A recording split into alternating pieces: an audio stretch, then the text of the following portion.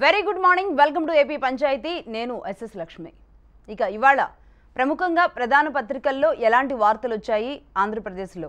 ఆ పేపర్స్ చూద్దాం. ముందుగా ఈనాడు పత్రిక చూద్దాం. ఈనాళ్ళు మనం చూస్తున్నాం. వారు వెలగనియరు వీరు చెదరనియరు. నిర్లక్ష్యానికి నిలువుటద్దం విజయవాడ పురావస్తు మ్యూజియంలో విక్టోరియా మెమోరియల్ హాల్ దుస్థితికి సంబంధించిన వార్త ఇది. అలాగే పరీక్షల్లో వేగం ఏది? రాష్ట్రంలో కేసులు పెరుగుతున్నా పరీక్షలు తక్కువే. విదేశీ టీకాలకు పచ్చజెండా అమెరికా బ్రిటన్ ఐరోపా జపాన్ అనుమతించిన వ్యాక్సిన్లకు సమ్మతి. కోవిడ్పై యుద్ధంలో మనం గెలవాలి. ఉగాది వేడుకల్లో ముఖ్యమంత్రి జగన్ వ్యవసాయ వ్యాపార ఆర్థిక పరిస్థితులు బాగుంటాయి అన్న సిద్ధాంతి. అలాగే ఫలితాల వెల్లడిలోనూ జాప్యమే. పరీక్షల్లో వేగానికి సంబంధించి ఉత్తరాంధ్రను ఊడ్చేస్తున్నారు. అక్రమ మైనింగ్తో సహజ వనరుల దోపిడీ. అలాగే క్లేమోర్ మైన్స్కే బెదరలేదు. గులకరాళ్ళకు భయపడతానా?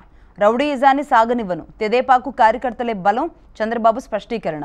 కేంద్ర బలగాలను మోహరించండి. తిరుపతి ఉప ఎన్నిక స్వేచ్ఛగా జరిగేలా చూడాలి. ఈసీకి తెదేపా వినతి. ఇక రాళ్ళు విసిరిన ఆధారాలు లభించలేదు. డీఐజీ వెల్లడి రాళ్ళ దాడిపై గవర్నర్కు ఫిర్యాదు. ఈ ఏడాది వర్షాలు బాగు. నైరుతి రుతుపవనాలపై స్కైమోట్ అంచనా. రాష్ట్రంలో నేడు రేపు వానలు. ఉత్తర కోస్తాలో ఎదురుగాలులు వీయొచ్చు. సీమకు వస్తాం ఎత్తిపోతలను పరిశీలిస్తాం. అదొక్కటే ఎందుకు? అన్నీ చూడండి. కృష్ణా బోర్డు ఆంధ్రప్రదేశ్ల మధ్య లేఖల యుద్ధం. అలాగే రాఖీయాకు ఒడిషా బాక్సైట్ ఏపీ లేటరైట్ ఉన్నతాధికారుల కమిటీ నివేదిక. ఒడిషా బాక్సైట్ అలాగే ఏపీ లేటరైట్. ఇది ఈనాడు పత్రికలో మనం ప్రధానంగా చూస్తున్న వార్తలు. నెక్స్ట్ సాక్షి చూద్దాం. నేడు అంబేద్కర్ నూట ముప్పైవ జయంతి. కేరళ మంత్రి జలీల్ రాజీనామా. అలాగే స్పుత్నిక్కు కేంద్రం పచ్చజెండా నిషేధంపై మమతా బెనర్జీ ధర్నా. పదిహేడు తర్వాత పార్టీ లేదు తొక్క లేదు. ఇక టీడీపీ పని అయిపోయింది. డిక్లేర్ చేసిన ఆ పార్టీ రాష్ట్ర అధ్యక్షుడు అచ్చెన్నాయుడు. ఆకుల వెంకటేశ్వరరావుతో మాట్లాడుతూ టీడీపీని విమర్శిస్తున్న అచ్చెన్నాయుడు ఫోటో ఇక్కడ మనం చూస్తున్నాం. ఆ లోకేష్ బాగుంటే ఈ పరిస్థితి ఎందుకు వస్తుంది? ఎప్పటి నుంచో ఉంటున్నాం కాబట్టి తప్పట్లేదు. పదిహేడు తర్వాత ఫ్రీ అయిపోతాం. ప్రైవేట్ సంభాషణలో అంతరంగాన్ని ఆవిష్కరించిన అచ్చెన్నాయుడు రైట్ ఇక న్యూస్ రీల్ సీమ జిల్లాల్లో సోలార్ పవర్ భేష్. ముస్లిం సోదరులకు సీఎం జగన్ శుభాకాంక్షలు. శ్రీరామనవమి రోజున ఆధారాలు బయటపెడతాం.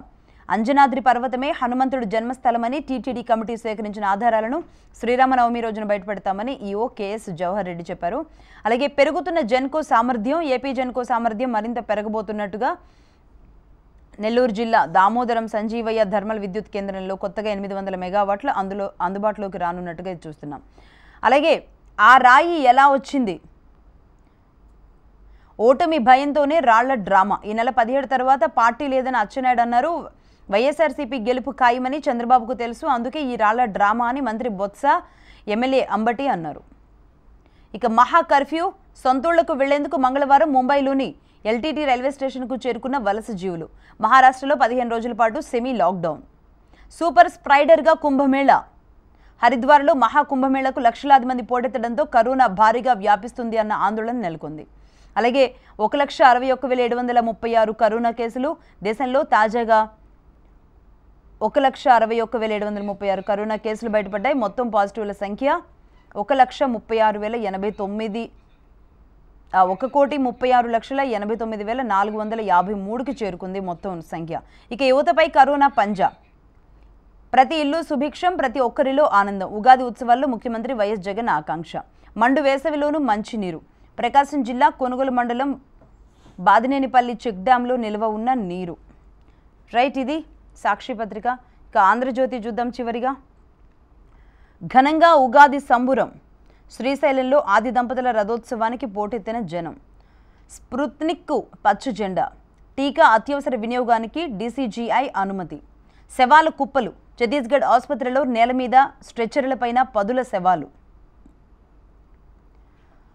రెండు రోజుల్లో వెయ్యి కుంభమేళాలో కరోనా కేసుల ఉధృతి రోజు లక్షల మంది భక్తులు మేళాకు కొందరికే పరీక్షలు నిబంధనలు గాలికి పట్టించుకొని స్థానిక అధికారులు. రైట్ ఇక జగన్ వైరస్కు మందు లేదు. కరోనా కన్నా ప్రమాదకరం. ఇది సమాజాన్ని తినేస్తుంది.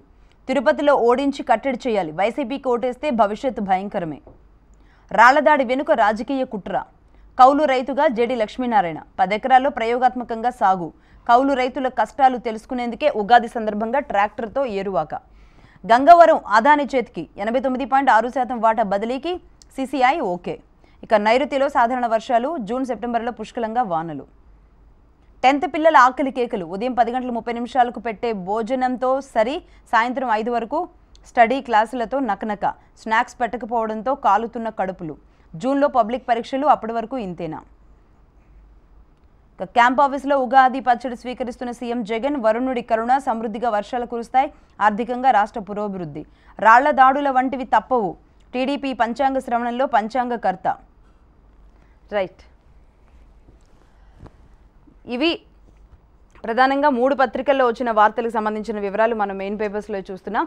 ఇక ఏదేమైనా ఆంధ్రప్రదేశ్లో రాజకీయాలు మాత్రం ఓ- ఒకంత మిగతా రాష్ట్రాల కంటే ఈ ఒకంత ఎక్కువ వేడిని రాజేస్తాయి అని మాత్రం ఖచ్చితంగా చెప్పొచ్చు. అది కూడా ఇక ఎన్నికల సమయంలో అయితే ఆ హీట్ కాస్త పెరుగుతోంది. తిరుపతి ఉప ఎన్నిక వేదికగా పార్లమెంట్ ఉప ఎన్నిక వేదికగా ఆ మాటల దాడులు ఏకంగా రాళ్ళ దాడుల దాకా వచ్చిన పరిస్థితిని చూస్తున్నాం. అయితే ఇదంతా ఒక ఎత్తు అయితే ముఖ్యంగా మొన్న జెడ్పీటీసీ ఎంపీటీసీల్లోనే చేతులెత్తేసింది టీడీపీ అని పరోక్షంగా ప్రత్యక్షంగా కూడా ఆరోపిస్తున్న ప్రతిపక్షాలు. నిన్న మొన్న ఏదైతే అచ్చెన్నాయుడికి సంబంధించిన ఒక వీడియో ఏదైతే ఉందో అది నిన్న లీక్ అయింది. ఇది మాత్రం నిజంగా టీడీపీ శ్రేణుల్ని ఉగాది పండుగ చేసుకోనీయకుండానే చేసిందని చెప్పాల్సిన పరిస్థితి ఉంది. ఎందుకంటే టీడీపీ రాష్ట్ర అధ్యక్షుడిగా ఉన్న అచ్చెన్నాయుడే ఏకంగా పదిహేడు తరువాత పార్టీలో ఉంటామా ఉండమా అనేది మాట్లాడారు అంటే నిజంగానే పార్టీ పట్ల అసంతృప్తిగా ఉన్నారా? పార్టీ అధ్యక్షుడే అలా ఉంటే మిగతా వాళ్ళ పరిస్థితి ఏంటి? నిజంగానే టీడీపీలో ఆ స్థాయిలో సంక్షోభం ఉందా? అనేది మాత్రం పెద్ద చర్చ జరుగుతోంది. ఇదే అంశానికి సంబంధించి డిబేట్లోకి వెళదాం. నాతో పాటు జాయిన్ అవుతున్నారు వెంకటరెడ్డి గారు వైసీపీ స్టేట్ జాయింట్ సెక్రటరీ. నమస్తే అండి వెంకటరెడ్డి గారు. అలాగే కేఎస్ ప్రసాద్ గారు ఎనలిస్ట్. నమస్తే అండి ప్రసాద్ గారు. అలాగే పెద్దిరెడ్డి రవికిరణ్ గారు బీజేపీ రాష్ట్ర మీడియా ప్రతినిధి. నమస్తే అండి రవికిరణ్ గారు. రవికిరణ్ గారు నమస్తే అండి. అలాగే దుర్గా ప్రసాద్ గారు టీడీపీ స్పోక్స్ పర్సన్ నమస్తే అండి దుర్గా ప్రసాద్ గారు. గుడ్ మార్నింగ్ అండి. నమస్తే అండి. దుర్గాప్రసాద్ గారు మీ దగ్గరికే వస్తున్నాం. టీడీపీ నలభై నలభై ఏళ్ళ చరిత్ర ఉన్న చంద్రబాబు నాయుడు గారు రాజకీయ ఎక్స్పీరియన్స్ ఉన్న చంద్రబాబు నాయుడు గారు దాదాపుగా టీడీపీ మొదలైనప్పటి నుంచి కూడా టీడీపీకి అతిపెద్ద శ్రేణులు ఉంటారు గ్రౌండ్ లెవెల్లో. వచ్చే నెలలోనే మహానాడు కూడా జరుపుకోబోతున్నారు. ఎన్నో కష్టాల్ని ఎదురించి వచ్చాము అని మీరంతా చెప్పుకుంటున్న ఈ పరిస్థితుల్లో నిజంగా ఏకంగా రాష్ట్ర అధ్యక్షుడిగా టీడీపీ పార్టీ రాష్ట్ర అధ్యక్షుడిగా ఉన్న అచ్చెన్నాయుడు గారి వ్యాఖ్యలు ఒక రేంజ్లో సంచలనం సృష్టిస్తున్నాయి. ఏంటి కారణం? లక్ష్మి గారు ఈరోజు అచ్చెన్నాయుడు గారు మాట్లాడిని రెండు మూడు క్యాసెట్లు బయటకు వచ్చినాయి అవి ఒక్కొక్క క్యాసెట్ ఒక్కొక్క వ్యూస్లో ఒక్కొక్కటి ఉన్నది. ఇదంతా కట్ అండ్ పేస్ట్ చేసింది. బ్యాంక్ అచ్చెన్నాయుడు గారు మాట్లాడిన దాంట్లో అంటే పదిహేడు తర్వాత మాట్లాడదామని అతనితో అంటే దాన్ని తీసుకొచ్చి పదిహేడు తర్వాత పార్టీ లేదని అంటే ఎక్కడో ఏదో మాట్లాడిన దాన్ని తీసుకొచ్చి కలిపి కట్ అండ్ పేస్ట్ చేసి ఇచ్చారు. అవసరం అంత అవసరం లేదు. అచ్చెన్నాయుడు గారు ఆ, రకంగా మాట్లాడదే అనే కాదు. కానీ ఇంత నీచమైన రాజకీయాలకు వైసీపీ ఒడిగడుతుందని మేము అడుకోవాలి అంటే ఏదో ఒక సంభాషణలో ఉన్నటువంటి విషయాలను తీసుకొచ్చి కట్ అండ్ పేస్ట్ చేసి ఏదో లబ్ధి పొందాలంటే ఎందుకండి వాళ్ళకి అంత భయం? ఇప్పుడు మీకు నూట యాభై ఒక్క మందిని ఇచ్చారు మీరు సంక్షేమ పథకాలు ఇస్తున్నారు మీ ఎమ్మెల్యేలంతా ఏడు చోట్ల గెలుస్తున్నారు మీరు గెలుస్తారు కదా ఎందుకు మీకు ఇంత భయం ఎందుకు? ఇంకోటి రాళ్ళ దాడి తప్పని డిఐజీ అంటాం దాన్ని తీవ్రంగా ఖండిస్తా ఉన్నా. రాయి క్లియర్గా అక్కడ పడితే చంద్రబాబు నాయుడు గారు విజువల్స్లో అన్ని టీవీలకి ఇదిగో రాయి ఇక్కడ పడ్డది. రాయి పడ్డది అక్కడ పడ్డదాన్ని కూడా తీసినటువంటిది. అంటే మొత్తం మీడియాలోనే ఉంది అదంతా కూడా. అంటే ఎక్కడ రాళ్ళ దాడి జరగలేదు అని అంటే ఏం జరుగుతుంది అసలు ఆంధ్రప్రదేశ్ రాష్ట్రంలో అసలు ఏ ప్రజాపాలన ఉందా? ఏం జరుగుతా ఉంది? గారు? అంటే ఇక్కడ గా రాళ్ళ దాడిలో ఒక్క రాయే పడినట్టుంది. ఆ రాయి కూడా ఎక్కడి నుంచి వచ్చింది అనేది కూడా పోలీసులు చెప్పలేకపోతున్నారు. సీసీ ఫుటేజ్లో కూడా రాయి ఎక్కడి నుంచి వచ్చిందో దొరకని పరిస్థితి ఉంది. రాయి రాయి ఎక్కడి నుంచి వచ్చింది అనేది వాళ్ళు కనిపెట్టాలి. రాయి వచ్చింది అయితే నిజం పడ్డదైతే నిజం ఇసిరింది నిజం కింద పడంగానే వాళ్ళు పట్టుకొని ఇట్లా ఇట్లా రాయి పడ్డది అనగానే అక్కడ ఇచ్చారు. దానికి అట్లా ఇచ్చేయలేదు అయితే నేనేమంటున్నంటే వాస్తవానికి వాస్తవ పరిస్థితి ఏంటంటే వైసీపీ పార్టీ భయం పట్టుకుంది. ఎందుకంటే వాళ్ళకి అర్థమైంది. అసలు ఏంటి తిరుపతిలో ఏడు సెగ్మెంట్లో మా ఎమ్మెల్యేలు ఉంటే చంద్రబాబు నాయుడు గారు లోకేష్ ఎర్ర- అచ్చెన్నాయుడు గారు తిరుగుతా ఉంటే ఇంత స్పందన వస్తుంది ఏంటి ఒకవేళ మేము ఎక్కడ ఇదైపోతాము అని చెప్పి ప్రజలు కూడా నిజంగా నిన్న ప్రజలను కూడా అడిగింది అదే. Hundred percent. ఈ వైరస్ కరోనా వైరస్కి వ్యాక్సిన్ వచ్చింది. కానీ జగన్ అనే వైరస్కి వ్యాక్సిన్ లేదు. ఎందుకంటే పరిపాలన ఏ విధంగా చేస్తున్నారో చూస్తున్నాం మనం. దుర్గాప్రసాద్ గారు? ఇక్కడ ఇక్కడ ఇంకొక విషయం. సరే అచ్చెన్నాయుడు గారు మాట్లాడింది కాపీ పేస్టే అనుకుందాం. ఎవరైతే ఆకుల సత్యనారాయణ ఉన్నారో ఆయన నిన్న అర్ధరాత్రి పన్నెండు గంటలకి పోలీస్ స్టేషన్కి వెళ్ళి కంప్లైంట్ ఇచ్చారు. అవును నేనే షర్ట్ ఇప్పి చంద్రబాబు మీద వేశాను తనని పట్టించుకోవట్లేదు. ముప్పై సంవత్సరాల నుంచి ఆయనతో పాటు రాజకీయ ప్రయాణం చేస్తున్నా కష్ట నష్టాల్లో ఉన్నా సరే పట్టించుకోలేదని అసంతృప్తితో చేశాను. అచ్చెన్నాయుడుతో నేనే మాట్లాడాను అని ఆయనే స్వయంగా చెప్పిన పరిస్థితిని కూడా మీరు కట్టుకదలే అంటారా? ఆ వెంకటేశ్వరరావు అసలు ఆయన ఏ ఏం మాట్లాడాడు ఏం చేశాడో గతంలో పోయిన నెలలో కూడా సారింటి ముందు పెద్ద డ్రామా చేసినాడు. ఇవన్నీ చాలా మంది ఉన్నారండి. ఆస్తులు చాలా మంది త్యాగం చేసిన వాళ్ళు ఉన్నారు. పార్టీ కోసం పార్టీ మీద ఉన్న ప్రేమతోటి నా ఎన్టీ రామారావు గారు చంద్రబాబు గారి మీద ఉన్న ప్రేమతోటి పార్టీలోకి వచ్చి పనిచేస్తున్నాం అందరం. పనిచేస్తున్నాం అవకాశాలు వచ్చిన వాళ్ళకి వస్తాయి. ఇప్పుడు ఇంతమంది ఉంటే ఆంధ్రప్రదేశ్లో ఆంధ్రప్రదేశ్లో నూట డెబ్బై ఐదు సీట్లు నూట డెబ్బై ఐదు మంది ఎమ్మెల్యేలు అవుతారు. కానీ లక్- లక్షల మంది కార్యకర్తలు పనిచేస్తూ ఉంటారు గ్రామ స్థాయి నుంచి రాష్ట్ర స్థాయి వరకు. ఈ తెలుగుదేశం పార్టీలో గ్రామ స్థాయి నుంచి పనిచేసిన ఆయన మంత్రి అయిండు జిల్లా స్థాయిలో పనిచేసిన ఆయన ఏమీ లేకుండా పార్టీలో అట్లనే ఉన్నాడు.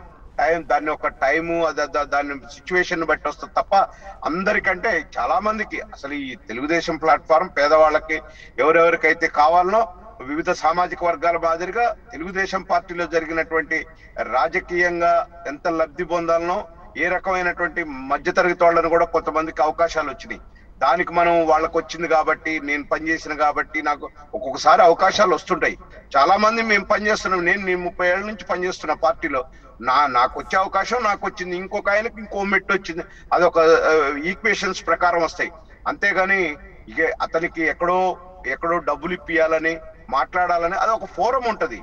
సరే అండి. అంటే మీరు అన్నట్లుగా మీ- మీరు అన్నట్లుగా ఆకుల వెంకటేశ్వరరావుకి పదవి లేదు కాబట్టి ఆ మాట మాట్లాడారు అనుకుందాం మరి పదవి ఉన్న అచ్చెన్నాయుడు గారు ఉన్నారు కదా పార్టీ అధ్యక్షుడు కూడా అలా మాట్లాడారు అంటే పదవి కాదు ఇక్కడ.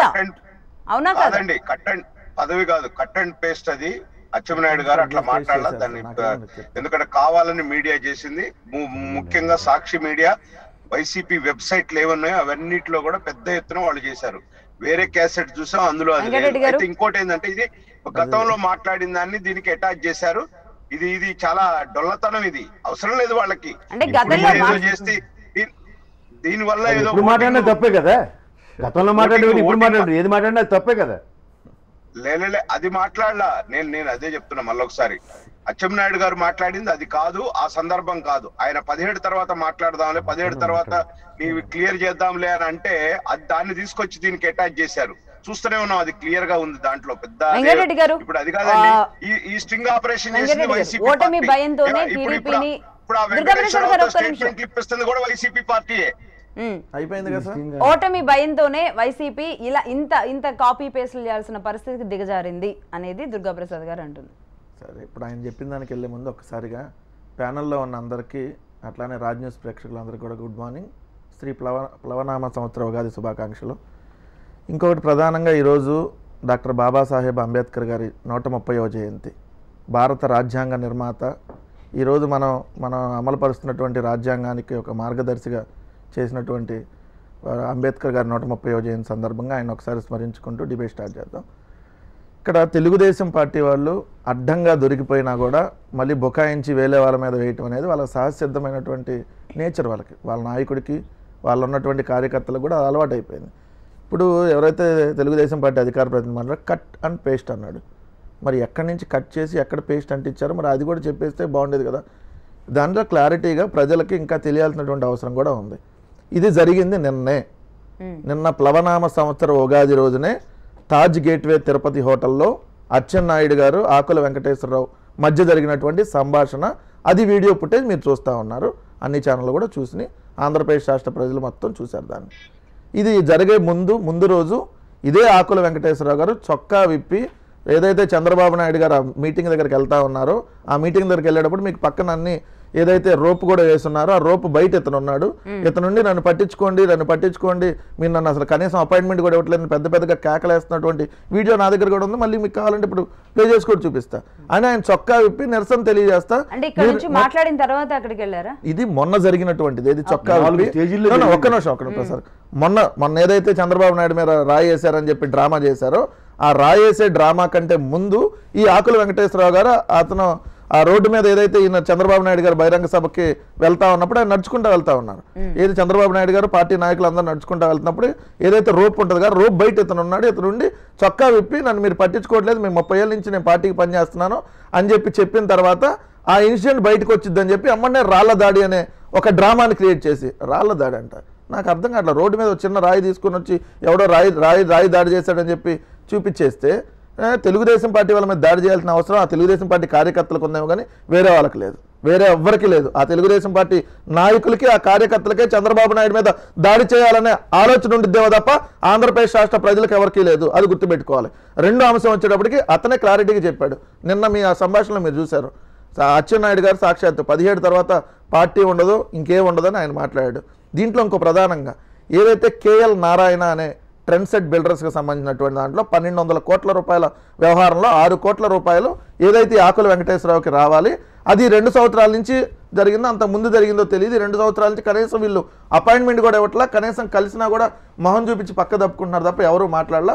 లోకేష్ అంతకుముందు నా దగ్గరకు వచ్చి అన్నా కూర్చో అని మాట్లాడేవాడు. ఇప్పుడే అడిపోయి అటు కూర్చో పద్దాలు ఎందుకు వస్తున్నావు అని చెప్పి రెస్పెక్ట్ లేకుండా మాట్లాడుతూ ఉన్నాడు. నిన్న రాయి రాళ్ళ దాడిది కూడా కావాలని ఇదన్నీ బయటకు వచ్చింది ఈ అంశము అని కూడా వాళ్ళు మాట్లాడుకున్నారంటే ఇది పక్క ప్లాన్ ప్రకారం నిన్న రాళ్ళ దాడి అనేది ఒక అంశాన్ని వాళ్ళు క్రియేట్ చేశారు. ఎందుకంటే ఈ ఆకుల వెంకటేశ్వరరావు అనే ఇష్యూ బయటకు రాకుండా అంటే ఆయన చొక్కా విప్పి అంతకుముందు కూడా తెలుగుదేశం పార్టీ ఆఫీస్ దగ్గర మరి అక్కడ ఇంటి దగ్గర అక్కడ నిరసన కూడా తెలిపాడు. అది కూడా టీవీలోకి వచ్చింది. నేను ముప్పై సంవత్సరాలు చేసుకున్నా నాకు ఈ వైట్ అండ్ వైట్ చొక్కాలు తప్ప ఏం మిగలలేదు. నన్ను నాశనం చేశారు పార్టీకి అని జూబ్లీహిల్స్ కార్పొరేటర్ కూడా పోటీ చేశారంట మీ పార్టీలో మీ అంతర్గతంగా మీరు మీరు కొట్లాడుకొని దానికి వైసీపీ పార్టీ రాళ్ళ దాడి మేము ఏదో కట్ అండ్ పేస్ట్ ఎవరికి అవసరం అండి? చంద్రబాబు నాయుడు మేము పట్టించుకుంటున్నావా చంద్రబాబు నాయుడు ఆంధ్రప్రదేశ్ రాష్ట్ర ప్రజలే పట్టించుకోవట్లేదు మాకేం పని? మీ తెలుగుదేశం పార్టీ వాళ్ళు మీ తెలుగుదేశం పార్టీలో ఉన్నటువంటి నాయకులు కార్యకర్తలు వాళ్ళ రెక్కల కష్టాన్ని మీ అధికారం కోసం వాళ్ళు మీ అధికారం కోసం వాళ్ళు దారపోస్తే ఈరోజు వాళ్ళని ఒక్కరిని కూడా పట్టించుకునేటువంటి పరిస్థితి లేకపోతే ఆ కార్యకర్తలు ఆ నాయకులు కడుపు మండి ఇటువంటి అన్ని స్ట్రింగ్ ఆపరేషన్లు వాళ్ళే బయట తెచ్చి ఇప్పటికైనా చంద్రబాబుకి లోకేష్కి బుద్ధి రావాలని చెప్పి వాళ్ళు చేస్తే దుర్గాప్రసాద్ గారు మా మీద ఆరోపణలు చేయడం ఏది? మిమ్మల్ని చూసి మేము భయపడిపోతా ఉన్నాం. అవునవును మీ పెద్ద అంతర్జాతీయ పార్టీ ఇక్కడ అమెరికాలో లేదంటే ఆఫ్ఘనిస్తాన్లో పాకిస్తాన్లో మీరు పెద్ద గొప్ప పార్టీ మీరు భారతదేశాన్ని శాసించే స్థాయిలో ఉన్నారు కాబట్టి మిమ్మల్ని చూసి మేము భయపడిపోతున్నాం. మాకు ఎక్కడో తిరుపతిలో ఏదన్నా రావేమో మాకేమైనా డిపాజిట్లు రావేమో అని చెప్పి భయపడిపోయి మీ చంద్రబాబు నాయుడు మీద రాళ్ళు ఇంకేమైనా వేపిస్తారు. ఎవడేపిస్తాడండి చంద్రబాబు నాయుడు మీద? ఇటువంటి కుట్రలు కుతంత్రాలు ఇవన్నీ మీకు అలవాటు. పిల్లనిచ్చిన మా మీద చెప్పులు వేయించడం ఆ పార్టీని లాక్కోవటం మీ స్థాయి అక్కడి నుంచే కదా వచ్చింది. అక్కడి నుంచి వచ్చిన వాళ్ళకి రాళ్ళు వేయించుకోవటం దాడులు చేయించుకోవటం మీకు మీకు అలవాటేమో. మాకు అటువంటి లేవు చంద్రబాబు నాయుడు అనే మేం కాదు ఆంధ్రప్రదేశ్ రాష్ట్ర ప్రజలు కూడా పట్టించుకున్నటువంటి పరిస్థితి. వీడియో కూడా కట్ అయినట్లుంది రవికిరణ్ గారితో అలాగే ప్రసాద్ గారితో మాట్లాడే ముందుగా ఎవరైతే ఆకులు వెంకటేశ్వరరావు ఏం మాట్లాడారు కంప్లైంట్ అర్ధరాత్రి పన్నెండు గంటలకి. రాత్రి వెళ్ళి కంప్లైంట్ ఇవ్వడం జరిగింది. దానికి. సంబంధించి ఆయ- ఆయన ఏమన్నారో చూద్దాం. దుర్గా ప్రసాద్ గారు. లక్ష్మి గారు ఒక్క నిమిషం ఆకుల వెంకటేశ్వరరావు గారు ఏమన్నారో ఒకసారి చూద్దాం నిమిషం లక్ష్మి ప్లే చేయండి ఆకుల వెంకటేశ్వరరావు ఏమన్నారు? దానికి సంబంధించి చూద్దాం.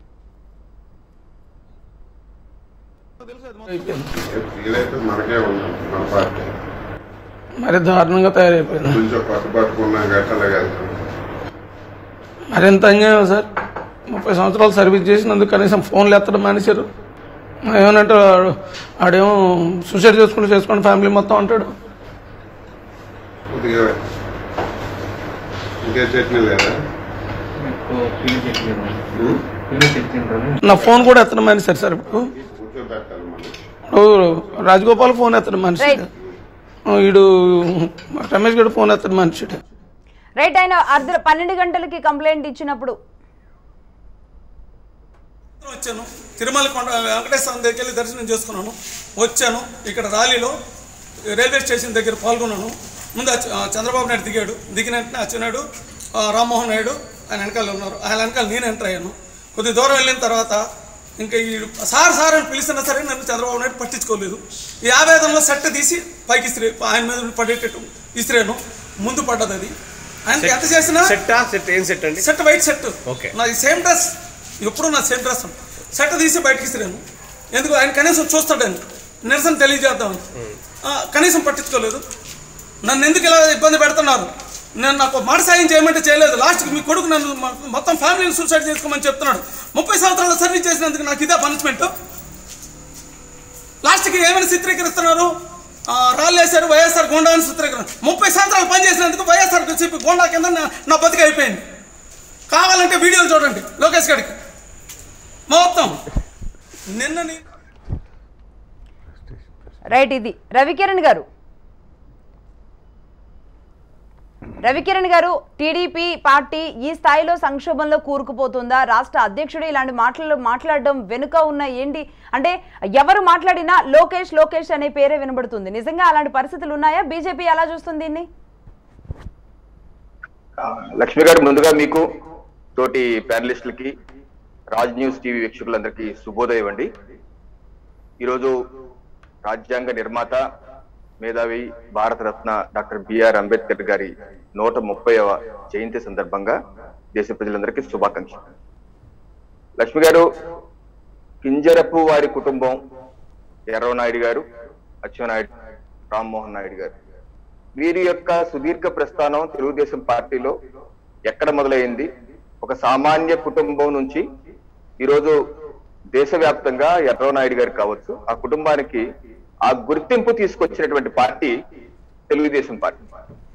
అటువంటి తెలుగుదేశం పార్టీకి ఈరోజు రాష్ట్ర అధ్యక్షులుగా ఉంటూ ఉపయోగించకూడనటువంటి తల్లి లాంటి పార్టీ మీద ఉపయోగించకూడనటువంటి భాషని ఏ ఏ ఏ సందర్భంలో కూడా ఏ అది అంతర్గత కానీ బయట కానీ ఉపయోగించకూడనటువంటి భాషను ఉపయోగించడం పార్టీలకు అతీతంగా అందరూ ఖండించవలసిన విషయం. అందులో ఆ పార్టీ కార్యకర్తలకైతే ఇంకా బాధ కలిగించే విషయం. దీనిలోనే ఇంకో కోణం ఏంటంటే అయ్యో ఇంత ఇదిగా మనం పార్టీని మోసి ఈ స్థాయికి తీసుకొస్తే పార్టీ కళ్ళ ముందులే ఇలా అయిపోతుందో ఇలా అయిపోతుంది ఏంటి అనే ఆవేదన బాధ రాష్ట్ర అధ్యక్షుడిగా ఉంటూ కూడా బహుశా వారికి రబ్బర్ స్టాంప్గా ఉండిపోయాను. అసక్తిని ప్రదర్శించే విధంగా వారి యొక్క నిస్పృహని ఈ రకంగా తెలియజేశారని కూడా మనం ఇంకోసారి అనుకోవాలి లక్ష్మి గారు. ఎగ్జాక్ట్ అలాగే ఇంకో ప్రధానమైన అంశం ఏదైతే లోకేష్ గారి విషయం గురించి ఏదైతే రాష్ట్ర అధ్యక్షులుగా ఉన్నటువంటి నాయుడు గారు ఎర్ర- అచ్చెన్నాయుడు గారు చెప్తున్న వ్యాఖ్యలు ఆ రాష్ట్ర ఆ పార్టీలో నాయకత్వానికి భవిష్యత్తుకి పట్ల ఆ రాష్ట్ర అధ్యక్షులకు కావచ్చు కార్యకర్తలకు కావచ్చు ఉన్నటువంటి అనుమానాలు సందేహాలు ఇప్పటి వరకు ప్రజల్లో జస్ట్ అనుకుంటున్నారు. ఇప్పుడు రాష్ట్ర అధ్యక్షుల నోటి నుంచి వినేసరికి అవును నిజమే. పార్టీలో కూడా అంతర్గతంగా ఇబ్బందులు పడుతున్నారు. చంద్రబాబు నాయుడు గారు అంటే ఆయన రాజకీయ ప్రస్థానం కాంగ్రెస్ నుంచి మొదలైంది. కాంగ్రెస్ ఎమ్మెల్యే అయ్యారు కాంగ్రెస్ మంత్రి అయ్యారు. ఆ తర్వాత తెలుగుదేశం పార్టీలో ఒక పార్టీ బాధ్యత తీసుకొని పార్టీ బాధ్యతలో చాలా కాలం ఉండి పార్టీ మీద గ్రిప్ సంపాదించుకొని ఎన్టీఆర్ ఎన్టీ రామారావు గారు కూడా ఉండి నిదానంగా ఆయన సీఎం అయ్యారు. ఒక స్థాయికి వెళ్ళారు. నాయకుడిగా ప్రూవ్ చేసుకుని ఒక స్థాయికి వెళ్ళారు. ఇప్పుడు లోకేష్ గారి విషయంలో అలా కాకుండా డైరెక్ట్గా నాయకుడిగా చొప్పిస్తున్నారు. చొప్పించిన దాన్ని బట్టి ఆ పార్టీలోనే అంతర్గతంగా ఆయన యొక్క కేపబిలిటీస్ పట్ల ఆయనకున్న విషజ్ఞానం పట్ల ఆ పార్టీలోనే అపనమ్మకాలు దాని ద్వారా పార్టీకి భవిష్యత్తు కూడా అపనమ్మగా కనపడుతుంది ఇంకా మూడో విషయం ఏదైతే పన్నెండు వందల కోట్ల రూపాయల కుంభకోణం ఏమనుకోవాలి దీని మీద? ఆ పైరు మీద విషయం ఏంటి? దాని దాని విషయం ఏంటి? నాలుగో విషయం సూసైడ్ చేసుకోమని చెప్తున్నా అంటున్నారు. లోకేష్ నన్ను సూసైడ్ చేసుకో చేసుకోమంటున్నారు. దీని మీద ఆయన పొరపాటు సూసైడ్ చేసుకుంటే పరిస్థితి ఏంటి? దీని మీద అసలు ఆ పార్టీ ప్రాంతీయ పార్టీ జాతీయ అధ్యక్షుడు అయినటువంటి చంద్రబాబు నాయుడు గారు ఏం చెప్తారు సమాధానం? అలాగే నిన్న అచ్చెన్నాయుడు గారు ట్వీట్ చేశారు. నాకు వీడియోలు సాక్షి వాళ్ళు చేశారు లేకపోతే వక్రీకరించారని. రైట్ రవికిరణ్ గారు అయితే ఒక్క నిమిషం. అంతేగాని వేరే అంతేగాని విషయాన్ని డైవర్ట్ చేసే విధంగా ఏ రకంగా. చూసాం? ఓటు ఓటు కోట్ల విషయంలో హైదరాబాద్లో ఓటు కోట్ల విషయంలో బ్రీఫ్డ్ మీ మా వాళ్ళు బ్రీఫ్డ్ మీ అనే మాటలు వచ్చినా సరే చంద్రబాబు నాయుడు గారు ఓ పక్కన నా వాయిస్ కాదంటారు మళ్ళీ నా మొబైల్ ట్యాప్ చేశారంటారు వాయిస్ కాదంటారు ట్యాప్ చేశారు అది ఏ విషయం అర్థం కాదు. అదే విధంగా ఇప్పుడు కూడా వచ్చేదానికి అదే స్టేట్మెంట్ మాఫీ చేశారంటారు వక్రీకరించారంటున్నారు ఈ రకంగా వారికి ఉన్నటువంటి దొలతనాన్ని ఈరోజు మీడియా ద్వారా ద్వారా ప్రజలకి సాక్షాత్ అయింది అయితే రాళ్ళ దాడి విషయంలో కూడా ఒక విషయం చెప్తా లక్ష్మి గారు. ఏ పార్టీ మీదన్నా సరే రాళ్ళ దాడి చేయటం లేకపోతే రాళ్ళు రాళ్ళు దాడి చేయటం అన్నది ప్రజాస్వామ్య విరుద్ధం.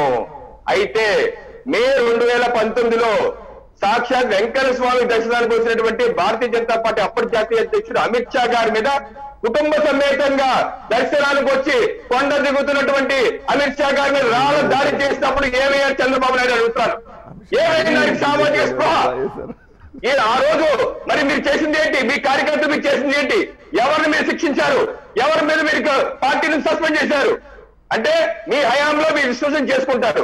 ఇప్పుడు వచ్చి ఒక రాయి ఎవరు పడిందో చెప్పలేకపోతున్నారు. ఆయన జెడ్ ప్లస్ సెక్యూరిటీలో ఉన్నారు. జెడ్ ప్లస్ సెక్యూరిటీ ఎంత సూక్ష్మంగా ఉంటారు లక్ష్మి గారు? అలాంటి అలాంటి సెక్యూరిటీ చెప్తున్నారు. రాళ్ళ దాడి జరగలేదని. ఇది జరుగుతున్నాయని చెప్తున్నారు. దాని విషయం ఏ విషయం చెప్పండి సాక్ష్యాధారాలు ఉంటే ఇవ్వండి. అయితే రాళ్ళ దాడి ఏ దాడి ఎటువంటి దాడి అయినా సరే ప్రజాస్వామ్యతంగా అయితే అటువంటి చర్యల్ని ప్రజాస్వామ్యవాదులు అందరూ ఖండించారు లక్ష్మి గారు.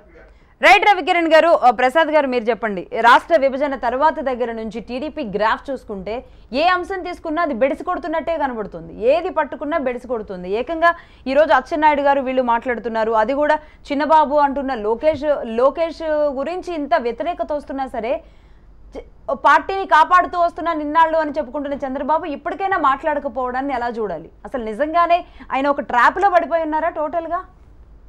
ముందుగా రాజ్ న్యూస్ ప్రేక్షకులకు నమస్కారం అండి. ప్యానల్లో ఉన్న వాళ్ళందరికీ మీకు కూడా నమస్తే అండి. జై భీమ్ నూట ముప్పైవ రాజ్యాంగ నిర్మాత ఒక బర్త్డేని వాళ్ళు సెలబ్రేట్ చేసుకున్నందుకు భారత పౌరులందరూ గర్వించదగ్గ దినం.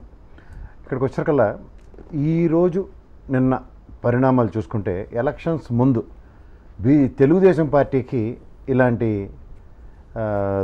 విస్ఫోటాలు ఖచ్చితంగా సర్వసాధారణం అయిపోయింది. ఎలా అంటే లాస్ట్ టైంలో ఒక ప్రముఖ ఛానల్ అధినేత చేసిన ఒక విన్యాసానికి తెలుగుదేశం పార్టీ ఇరవై మూడు స్థానాలకు ఎలా పరిమితమైందో ఇవాళ మళ్ళీ ఇదే. ఎందుకంటే టెక్నాలజీ పరంగా ఆయన్ని మించిన వాళ్ళు లేరు. టెక్నాలజీని ఇన్నోవేట్ చేసింది ఆయనే. రాష్ట్రానికి ఒక టెక్నాలజీని పరిచయం చేసి ఈ స్థాయికి తీసుకొచ్చిన వ్యక్తి కూడా ఆయన గర్వంగా చెప్పొచ్చు ఆ విషయంలో. అలాంటి వ్యక్తికి పార్టీ అధినేత అయ్యి ఉండి ఆ పార్టీలోనే ఆ టెక్నాలజీని దుర్వినియోగపరుస్తుంటే కూడా దాని మీద ఏ విధమైన ఇది లేకుండా ఈ రోజుల్లో టెక్నాలజీని ఎలా వాడుతున్నారంటే మొబైల్లో రికార్డింగ్లు ఇవన్నీ సర్వసాధారణమైన దాన్ని కూడా అవేర్నెస్ లేకుండా అందులో బ్రీఫింగ్ చేశారు ఏమంటారు మార్ఫింగ్ చేశారని చెప్తుంటే చాలా ఆశ్చర్యస్పదంగా ఉంది. ఈ చట్నీ లేదా ఇంకో చట్నీ ఉందా? ఇలాంటివన్నీ కూడా చేయాలంటే మార్ఫింగ్ చేయొచ్చు కదా అవేవి చేయకుండా ఇది ఒక్కటే ఎందుకు చేస్తారు? తర్వాత కమిట్మెంట్ ఎప్పుడైనా సరే ఒక అధ్యక్షుడి స్థానంలో ఉన్న వ్యక్తికి ఎప్పుడైనా సరే ఒక కమిట్మెంట్తో కూడిన విషయం అన్నది ఉంటుంది. ఎప్పుడైతే ఆ కమిట్మెంట్ చిత్తశుద్ధి రెండు లేకుండా డీవియేట్ అయిపోయి అక్కడి నుంచి ఏదో ఒక ట్రాన్స్లోకి గబగబా ఏదో ఒక అక్కడికక్కడ శ్రద్ధ చెప్పి పంపించేద్దాం అనుకునే దాంట్లోనూ వచ్చిన పదజాలం అది. ఇప్పుడు ఎందుకంటే పదిహేడో తారీఖు తర్వాత ఎలక్షన్స్ అయిపోతే కూర్చుని మాట్లాడదాం సమయం ఇద్దాం. మనం కొన్ని సబు సందర్భం లేకుండా కొన్ని టెర్మినాలజీస్ మనం వాడుతూ ఉంటాం. అవి పార్టీ పట్ల అంటే కన్న తల్లి లాంటి పార్టీ మీద ఏ విధంగా మనం మాట్లాడాం అన్నది ఫస్ట్ నీ స్థానం ఏంటి? ఎందుకంటే ఈరోజు నీ కింజర పచ్చెన్నాయుడు గారికి ప్రస్థానం తీసుకుంటే ఎర్రనాయుడు గారి ప్రస్థానం నుంచి ఇవాళ ఆ పార్టీ మళ్ళీ అధ్యక్షుడి స్థానం అదే ప్రాంతానికి సంబంధించిన వ్యక్తికి కళా వెంకటరావు గారి తర్వాత ఈయనకి ఇచ్చారు. ఎన్నో పెర్ముటేషన్స్ అండ్ కాంబినేషన్స్ బీసీ అనే ప్రస్థానంతో స్టార్ట్ అయిన ఆ పార్టీ. బీసీని ఏ విధంగా హక్కుని చేర్చుకుంటున్నారు అయితే లోకేష్ గారిని ఇవాళ చూడండి కష్టపడి ఒక దగ్గరికి కాన్సన్ట్రేట్ చేసి ఎలక్షన్లో ఒక మైలేజ్ తెచ్చుకున్నారు. నిన్నటిదాకా అనుకుందాం. చక్కని తీసుకెళ్ళి బూడిదలో పోసిన పన్నీర్ చేశారు. ఆ రాయని ఈ వీడియో అని ఇప్పుడు వీటి మీద వాళ్ళకి ఏంటంటే బకెట్లతో ఇవ్- పోయించుకోవడం. ఇవన్నీ ఒక సిల్లీ సిల్లీ ఇష్యూస్ ఆ, అదేనండి. వాళ్ళకి రాళ్ళదాడి మీరు తెలుగుదేశం పార్టీని నిశ్చితంగా గమనిస్తే ఏమవుతుందంటేనండి వాళ్ళకి బకెట్లతో బురద వేయించుకోవడం తెల్లవార్లు కడుక్కుని మళ్ళీ తెల్ల షర్ట్ వేసుకుని మళ్ళీ వచ్చి కూర్చోవడం అలవాటు అయిపోయింది వాళ్ళకి బురద కడుక్కునే కార్యక్రమమే కానీ వాళ్ళు చేసిన పనులు ఏం చేయబోతున్నాం అన్న విషయాలు మాత్రం ఖచ్చితంగా చెప్పుకోలేరు చెప్పరు. ఇప్పుడు దీంట్లో ఒక అధ్యక్షుడి స్థానంలో ఉండి ఆయన అలా మాట్లాడకూడదండి. పార్టీ అంత స్థానం ఇచ్చిన తర్వాత కూడా పార్టీని ఏ విధంగా చైతన్యపరుస్తారన్న వాస్తవాల్ని దుర్గాప్రసాద్ లాంటి వారు కనుక చెప్పుంటే దాన్ని ఔన్నత్యాన్ని కాపాడిన వాళ్ళు గారు? ఎందుకంటే క్లరికల్ ఎర్రర్ అన్నవి ఒక పదజాలం దొరలో ఉన్నది సర్వసాధారణమైన ప్రక్రియ. ఆయన కార్యకర్తను సంధానించే ప్రక్రియలో ఆ విధంగా మాడారు అని చెప్తే సరిపోయేది ఆయనకి అలా కాదు మార్ఫింగ్ వైఎస్ఆర్సీపీ. నిన్నటిదాకా ఏదో కింద మీద పడి వచ్చారు కదా. ఒక ఛాలెంజ్ అయితే లోకేష్ స్థాయిలో. ఒక చీఫ్ మినిస్టర్ గారికి ఛాలెంజ్ చేశాడు. రమ్మన్నాడు రాలేకపోయాడు. దాని మీద ఏదో ముందుకు తీసుకెళ్ళే ప్రక్రియ బదులు టక్కుమని వాళ్ళు తీసుకొచ్చి రాయి చిక్కు కొట్టారు. ఇది మార్ఫింగ్ చేశారు. ఏంటండి ఇదంతా హాస్యాస్పదంగా లేదు? అల్లప్పుడు మార్ఫింగ్ అప్పుడు గత ఎలక్షన్లో జరిగిన ఒక అధినేత ఛానల్ చేసిన ప్రక్రియకి అది కూడా మార్ఫింగేనా? ఎన్టీఆర్ బొమ్మే అక్కర్లేదు అన్నారు అది కూడా మార్ఫింగేనా? నైన్టీన్ నైన్టీ ఫోర్ ఎలక్షన్స్లో రామారావు గారి బొమ్మ లేకుండా నెల్లూరు దాకా ఖచ్చితంగా ఓడిపోయి వచ్చారు. ఏంది బాబు అంటే? చెప్పింది ఏంది? రామారావు గారు బొమ్మ పెట్టుకోలేదు కాబట్టి ఓడిపోయారు అనేది. ఎప్పుడైనా సరే పార్టీలో కన్న తల్లిలాడిది పార్టీ. పార్టీకి ఎవరు అన్యాయం చేసినా నిస్సిగ్గుగా ఖచ్చితంగా చెప్పి తీరాలి. ఎస్ ఇది తప్పు అని ఖండించగలిగాం అనుకోండి ఎక్కడిదెక్కడ చెక్మేట్లా పడుతుంది. ఎప్పుడైతే ఖండం లేకుండా మళ్ళీ దాన్ని ఇంకొక ఇంకొక ట్రాన్స్లోకి తీసుకెళ్ళి దాని నుంచి వేరే ప్రక్రియకి జోడిస్తూ వెళ్తే మాత్రం ఇది నిరంతర ప్రక్రియగానే మిగులుతుంది కానీ సొల్యూషన్ మాత్రం రాదు. పరిస్థితి. తెలంగాణలో పార్టీ ఏ స్థాయిలో ఉందో మీకు తెలుసు. ఇలాంటి ఇలాంటి పనుల వల్ల ఇలాంటి చేతల వల్ల చేతులారా ఆంధ్రప్రదేశ్లో కూడా టీడీపీని చంపుకుంటోంది ఎవరు? హ, తెలంగాణ దగ్గర ఆంధ్రాలో కూడా ఈ ఇష్యూ మీద మారకుండా తెలంగాణ ప్రతినిధితోనే మాడేస్తున్నారు అది కూడా చూసుకోండి. దుర్గాప్రసాద్ గారు. మీరు లక్ష్మి గారు మీరు మాట్లాడేటప్పుడు ఇవన్నీ చిల్లి ఇష్యూస్ ఇంత పెద్దగా ఇద్దా అని అడిగారు. ప్రసాద్ గారు ఒకటి ఆలోచించాలి. సీనియర్ జర్నలిస్ట్ ఆయన. ఇప్పుడు అచ్చెంనాయుడు గారి విషయంలో అచ్చెంనాయుడు గారు అట్లా మాట్లాడాడు మాట్లాడకూడదు అని అట్లా మాట్లాడా లేదా వీళ్ళు ఏం చేశారు అనేది మనకు అర్థమవుతుంది ఎందుకు మీరు సాక్షిలో రిపీట్ రిపీట్గా వాళ్ళ వెబ్సైట్లో వచ్చిందని ఎందుకు ప్రస్తావించట్లేదు? అది నాకు అర్థం కాదు. రెండోది అచ్చెంనాయుడు గారి విషయానికి వస్తే ఆయనకి పార్టీ మీద ఎలాంటి ప్రేమ ఉందనేది మనం చూసాం. మొన్న ఏమీ లేని కేసులో కనీసం ఎఫ్ఐఆర్ కూడా ఇష్యూ కాని కేసులో పోయి రెండు నెలలు కోవిడ్లో ఆయన జైలు చేసి వచ్చాడు. మొన్న గ్రామ పంచాయతీ ఎలా ఉందంటే జైల్లో పెట్టినందుకు మా అమ్మని తిట్టినట్టు ఉంది ఇక్కడ. కన్నతల్లాడి పార్టీ అండి. మీరు దుర్గాప్రసాద్ గారు రెండు విషయాలు ఒకటి- ఒకే ఒక. విషయం. ఈ రోజు టీడీపీ శ్రేణులు ఖండించండి మీ స్థాయిలో కూడా ఖండించకపోతే? శ్రేణులందరూ కూడా ఫోన్ స్విచ్ ఆఫ్ పెట్టుకున్నారా లేదా? ఈ విషయం మీద మాట్లాడడానికి కూడా భయపడుతున్నారా లేదా? అలా కాదండి దుర్గాప్రసాద్ గారు మీరు ఎప్పటి నుంచో పార్టీ మీద నిబద్ధతతో లక్ష్మి గారు, కమిట్మెంట్తో పనిచేస్తున్న మనిషి లక్ష్మి మీరు. గారు లక్ష్మి గారు ఒక్క నిమిషం ప్రసాద్ గారు. అయ్యో మీరు మామూలుగా పొలిటికల్ లీడర్ లాగా మధ్యలో ఎట్లా ఇదైతే తర్వాత మాట్లాడండి ప్రసాద్ గారు. లక్ష్మి పొలిటికల్ గారు? లీడర్ అక్కర్లేదండి తప్పు తప్పుగా చెప్పాలితే తప్పని చెప్పాలి అంతే. కాదండి మీరు తర్వాతనే చెప్పండి ప్రసాద్ గారు. నేను ఏమంటలా మీరు ఏ- మీ ఇష్టం వచ్చింది మాట్లాడండి నేను ఏం కాదంటలే కానీ మాట్లాడేటప్పుడు చెప్పండి దుర్గా ప్రసాద్ గారు. దుర్గా ప్రసాద్ గారు టీడీపీ ఈ పరిస్థితికి కారణం నిజంగానే మీ లోకేష్ బాబు. అవునా కాదా? ఈ. ప్రశ్నకి ఏం చెప్తారు మీరు? లక్ష్మి గారు ఈ ముప్పై ఎనిమిది ముప్పై తొమ్మిది సంవత్సరాలు నలభై సంవత్సరాల చరిత్రలో తెలుగుదేశం పార్టీకి అనేకమైన ఆటుపోట్లు వచ్చినాయి. పెద్ద పెద్ద మేధావులు పెద్ద పెద్ద లీడర్లు తయారు చేసినటువంటి వాళ్ళు పోతే ఈ పార్టీ పోయిందన్నారు. అనేక కష్ట నష్టాలు వచ్చినాయి. ఇదే చంద్రబాబు నాయుడు గారు రాజ్యాన్ని తీసుకొచ్చిండు మళ్ళా రాజ్యం పోయింది మళ్ళా రాజ్యం వచ్చింది. మళ్ళీ వస్తుంది మళ్ళా పోతుంది. అవన్నీ వేరు విషయం. Political is a dynamic situation.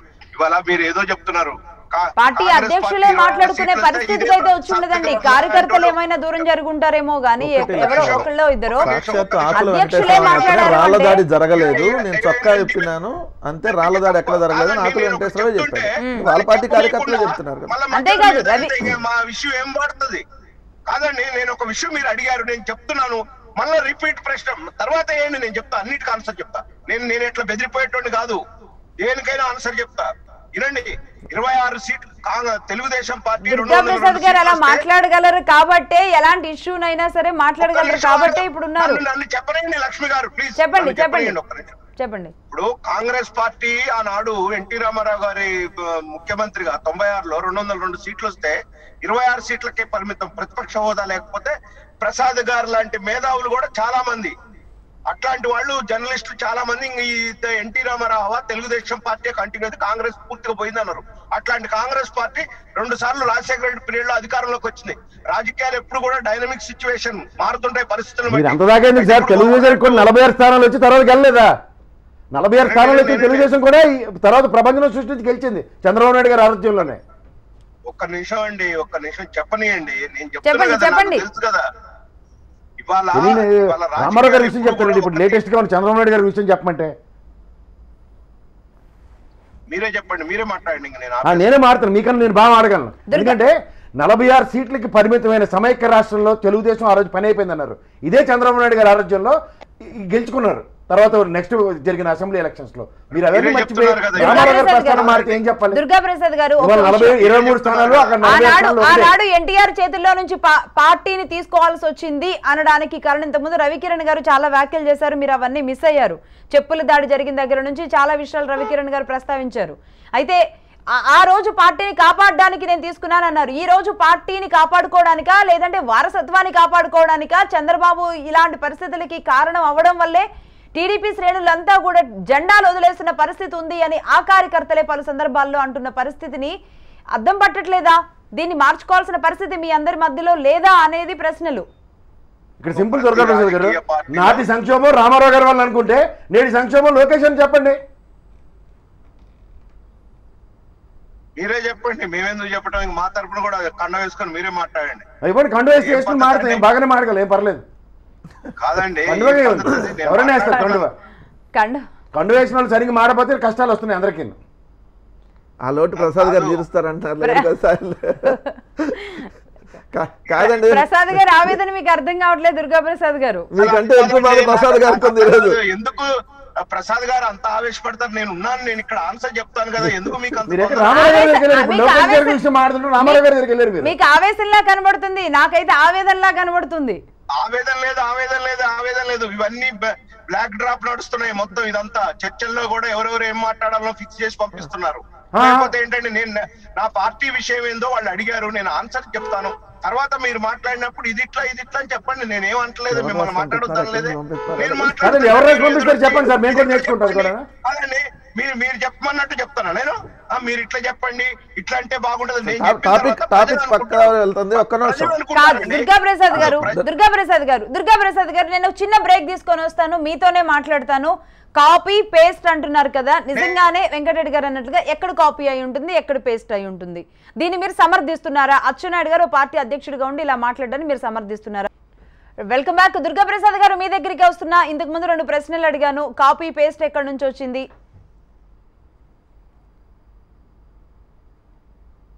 మీ మీ ఆడియో మీ ఆడియో ఒకసారి చెక్ చేసుకోండి దుర్గా ప్రసాద్ గారు. ఆ, చెప్పండి మేడం. చెప్పండి. మేడం ఇప్పుడు నేను మా- నేను మాట్లాడటం పూర్తయిన తర్వాత ఎవరినైనా మాట్లాడమండి ఏమైనా మాట్లాడమండి. Definite గా. మీరే మాట్లాడండి. ఏం పద్ధతి చెప్పండి? మీరే ఇవాళ మాట్లాడండి. అచ్చెన్నాయుడు గా- అచ్చెన్నాయుడు గారికి తెలుగుదేశం పార్టీకి చంద్రబాబు నాయుడుకి లోకేష్ ఉన్న సంబంధం ఎవరు విడదీయరాంది? అది నాకు వ్యక్తిగతంగా కూడా నాకు తెలుసు. ఆడ అతను కార్యకర్త ఏం మాట్లాడాడో ఇంకోటి రాజకీయ పార్టీల్లో కొంతమంది కార్యకర్తలు అసంతృప్తిగా ఉంటారు నేను ఒప్పుకుంటాను. ఎందుకంటే.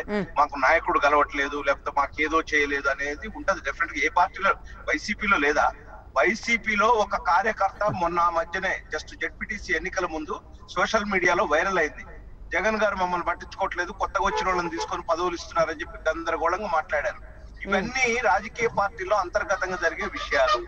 సరే వాటిని ఏదో ఇప్పుడు ఏదో తీసుకొచ్చి వాళ్ళు ఏదో చేశారు. నేను చెప్తున్నాను సభ్యత ఉన్నోళ్ళు అయితే మాట్లాడిన వాటిని బయట పెట్టరు. ఒకరు పెట్టారు. పెడితే ఇది ఏదో స్టింగ్ ఆపరేషనే కదా. బయట పెట్టారు అంటే ఒక స్టింగ్ ఆపరేషన్ చేసినట్టే కదా దీన్ని. దాన్ని మనం అంతా కూడా భేదావులు అర్థం చేసుకోవాలి? రెండోది ఇప్పుడు ప్రసాద్ గారు చెప్తున్నారు ప్రతిసారి బురదేస్తున్నారు అవును వాళ్ళు అన్నదానికి మేము చెప్పకుండా ఉంటే అది వేరే తిరిగి వస్తుంది కదా. మళ్ళీ అప్పుడు ఇదే ప్రసాద్ గారు అంటారు. నిన్న జరిగితే దాన్ని కనీసం తెలుగుదేశం పార్టీ కౌంటర్ ఇయ్యలేదని. ఇవాళ సాక్షి మీడియా నేను ఓపెన్ గానే చెప్తున్నా సాక్షి మీడియా వాళ్ళ వెబ్సైట్ ఇవన్నీ కూడా కట్ అండ్ పేస్ట్ చేయటంలో తిట్ట వాళ్ళు.